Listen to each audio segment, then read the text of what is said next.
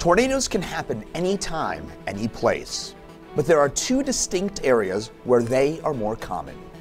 Dixie Alley and Tornado Alley produce most of America's tornadoes, but there are huge differences in how they work and the damage to life and property they create.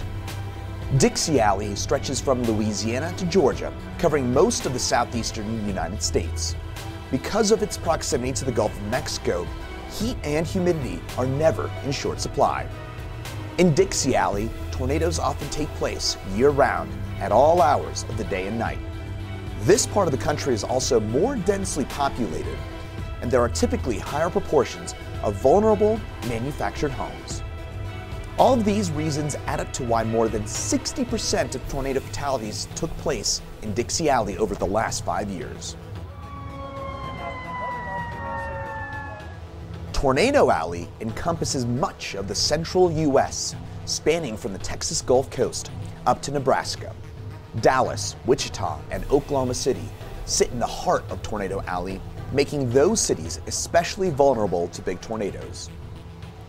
Powerful jet energy teams up with temperature and moisture differences at the surface to fuel these storms. This is where you'll probably see the most iconic looking tornadoes like this one. These are more frequent in rural areas and they typically take place during the peak severe weather season in April, May, and June. Weather Nation is always here for you whenever severe weather strikes. For Weather Nation, I'm meteorologist Chris Bianchi.